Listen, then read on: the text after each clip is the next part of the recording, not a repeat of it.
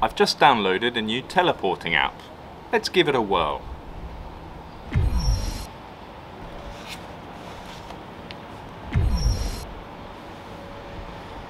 I've moved about one metre.